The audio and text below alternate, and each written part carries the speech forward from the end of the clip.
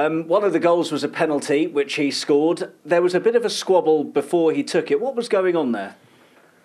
It's a shame. It's a shame that we behave like this. That is a process of a young team that need to learn a lot. That is why we were not consistent enough. That show because that we need time.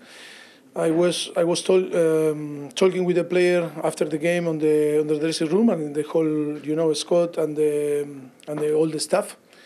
And for me, it's the last time that I I'm going to see something like this. Um, I need to, you know, to to apologize, you know, fans around the world because seeing this type of situation after 4 0 to, to fight for the penalty, we need to make clear the a statement that uh, I'm not going to accept. Next time that that happens, is going to go all out, you know, of the of the pitch, and and they need to learn and to be professional. We are in a professional environment. We are in Chelsea, and we need to behave in a different way, thinking in the collective, and not uh, being focused only in the individual achievement. So it's all sorted out now, and everyone knows that next time Cole takes the penalty. No, of course, no. They knew ah. that was Cole. Okay. Cole is the taker, but a situation that are a shame. You know that think. I think show that uh, we are so individual, individualist, individualist, and that why is the process. That why show that we were not consistent and solid. Uh, when we talk now, is a clear, uh, you know, uh, example that still is a process that we need to learn, and we need to learn quick because now um, that is a, is a thing that we cannot uh, accept.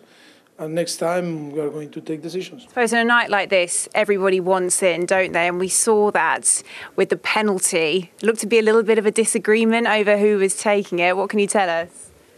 Nothing. Obviously, other players wanted to take it, which is understandable. The game's 4 0.